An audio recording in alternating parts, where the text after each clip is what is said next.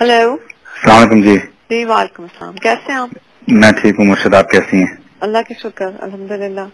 खान साहब की कुछ घड़ियाँ हैं। उन्होंने कहा है कि आपको भेजते हैं आप उन, आपको भेज दूँ वो आपके उनको बेच वगैरह दें क्योंकि वो उनकी यूज़ की नहीं है तो वो चाहते वो आप कहीं कर दें। ज़रूर मुर्शद मैं कर दूँगा। मैं कर दूँगा